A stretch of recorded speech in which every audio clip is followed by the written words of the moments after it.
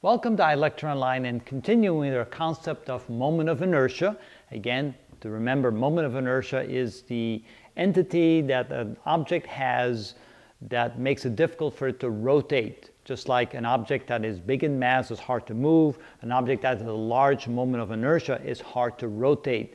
And the general equation for an object that's a distance r away from the point of rotation we can say that I is equal to m times r squared, noting that m is definitely a factor in the moment of inertia, but r is more so a factor that the farther away the mass is away from the point of rotation, the more difficult it is to rotate, and therefore the larger the moment of inertia. So then I have drawn on the board here a number of different objects or sets of objects, and how do we find the moment of inertia in each of these cases? Now, here I drew something where we have four objects attached to a small thin bar and we're going to assume that the bar has very little mass so that it's not uh, important. What would be the moment of inertia of one of these things? And you can say that the moment of inertia here, I, is simply equal to the sum of all the masses times the radius. Or we can take the individual moment of inertias and simply add them together. So this would be equal to m1 times r plus m2 times r plus m3 times r plus m4 times r. Notice we simply add the individual moments of inertia, add it all together, that's the total moment of inertia of this structure. Now, what would happen if the r's weren't all the same? No problem. If one r was bigger than the other, we just notate that by using different r's there. Again, the moment of inertia, the sum of them is simply the sum of the individual moment of inertias. So, pretty straightforward. Now, what do we do when we try to find the moment of inertia of something look like this, like a thin bar that has mass m and length l? Now, I'm not going to show you how to actually come up with that equation. I'm simply going to give you the equations and kind of give you a feel of why that makes sense. Notice that not all the mass is distributed at the very end of the point of rotation is distributed evenly like that. So some mass is very close, some mass is far away. So in this case, the moment of inertia, I, is equal to one third the mass times the length squared. So moment of inertia is one third ml squared. Now, on to the next one. Here's things a little bit different. Now we're going to rotate that very same bar with the same mass and the same length about a point in the middle of the bar. Now, what does that mean as far as a moment of inertia? What it does is it moves the mass, in essence, closer to the point of rotation. So the closer the mass is located to the point of rotation, the smaller the moment of inertia. So therefore, you would expect the moment of inertia of this one to be less than the moment of inertia of that one. And indeed, it is. I, in this case, is equal to 1 12th ml squared. Notice how close everything is to the point of rotation. Now you say, well, 1 12th, isn't that a small number? Yes, it is because we take the total length and not just the radius from the outside to the point of rotation. So that is the correct value. Now, what if the bar is not a thin bar like that? What if it's kind of a wide bar, like a plank, like a wooden plank, that's rotating about the center of the plank like this? Well, then this equation becomes I is equal to 1 12th the mass of the plank times, instead of using L squared, we use A squared plus B squared because then the mass is distributed away from the point of rotation this way and this way, so that becomes the equation right there. Moving on to the next one, we can now see that we're rotating this about a point at the very end of the plank. And in that case, it, it turns out that the width of the plank in this direction doesn't matter, only the width in this direction. And so then it becomes just like this one right here. We can say that I is equal to the mass times this distance, which is A squared. And of course, I'm forgetting the constant in front. It would be 1 third ma squared.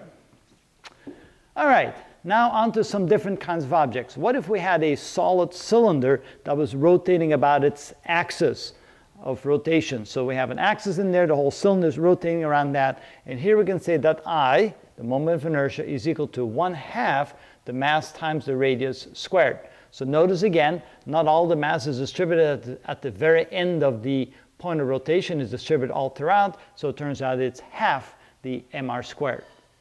Over here where we have a cylinder that has a hollow portion to it, but has a certain thickness to its shell, we can then say that the moment of inertia is equal to 1 half the mass times r1 squared plus r2 squared.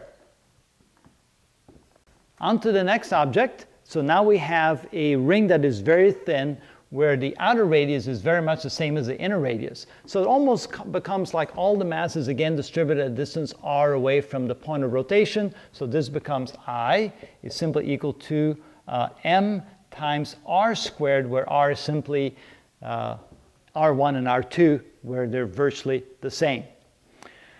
Two more objects to go. One is a solid sphere and the other one is a hollow sphere. With a solid sphere, mass is distributed all throughout the sphere.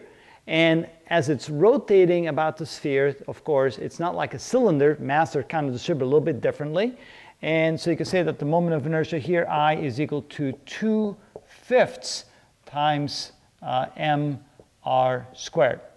And if it's a hollow sphere, now you say, well, with a hollow sphere, isn't all the mass distributed evenly around the point of rotation? No, it's not because it's a sphere, it's not a cylinder. In some cases, the mass is very close to the point of rotation. In some cases, it's r away from the point of rotation.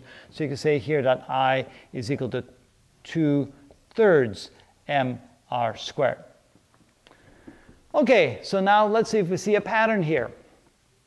You can see that the moment of inertia either is mr squared or some constant, some fraction times mr squared. It's either mr squared or something less than mr squared. The more this, the mass is distributed towards the center of rotation, the smaller the moment of inertia. So the smaller the fraction. The more the mass is distributed away from the point of rotation, the larger the moment of inertia, the larger the, the, the number here becomes equal to 1. And if all of the mass is distributed at distance r away from the center of rotation, then it's 1 times mr squared. So that's kind of the general principle that we follow with the moment of inertia. So again, quickly reviewing. So mr squared, here you simply sum up the mr squareds. Here, if it's rotating about the end of the bar, where the bar is thin, then it's 1 third ml squared. If it's rotating about the center, then it's 1 12th ml squared. Then here, when we have a plank that's rotating around either like this or right that, like that, it's 1 12th m a squared plus b squared. And if it's rotating about its end, the thickness don't matter, just the length of the plank. So it's again 1 third m a squared. If it's a cylinder and it's a solid cylinder, it's simply 1 half mr squared. If it's not a solid cylinder, if there's an opening in here, like a hollow portion of it, then it's 1 half m times the sum of the two radii squared, inner plus outer radii squared. If it's a thin shelled ring, then it's again kind of like this. It's mr squared. And if it's a sphere, if it's solid, it's 2 fifths. If it's hollow, it's 2 thirds mr squared. So a nice little review of the different moment of inertias for the various objects. Now I'm going to show some, some examples of how to actually calculate these values. Of course, for that, we're going to need a little bit of uh, uh, calculus, a little bit of integration to do that. So if you're interested in knowing how to do that, stay tuned for the next several videos and I'll pick some examples of how to actually figure out what the moment of inertias are of these various objects.